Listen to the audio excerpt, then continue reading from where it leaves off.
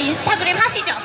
지금도 찰칵 샵 해시태그 홍대 해시태그 길거리 공연 해시태그 섹시 댄스 이런 거 막 올리고 계실 거예요 자 여기서 한번 문제 올려, 올려갈게요 저희 인스타그램 계정 이름이 뭘까요? 어? 하지만 손을 드셔야 합니다 댄슨이 맞습니다. 자 박수 한 번. 자 이제 본격적인 문제 저희가 들어갈게요. 어 문제라기보다는 요거 스피드 게임 같은 건데 저희가 또 어마어마한 경품을 걸고 지금 또 준비하고 있으니까. 자 순발력이에요. 핸드폰 다져주세요. 자 일단 떼손이 인스타그램 계정을 팔로우를 하시고 가장 먼저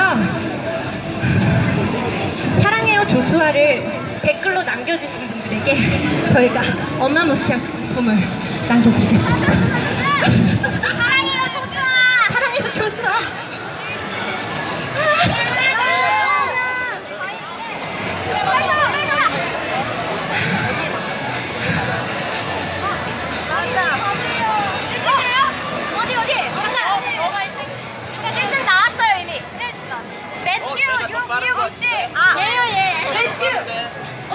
보자. 매튜 626. 예 예 예. 매튜. 아, 뭐야? 잠깐. 아닌 것 같은데. 매튜 117. 앞으로 다가 나오실래요?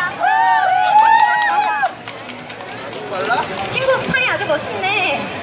좀 댄스에 관심이 있어요? 뭐 하는 중? 저는 음악, 음악을 만드는 사람입니다. 역시 홍대는 이런 예술가들의 병이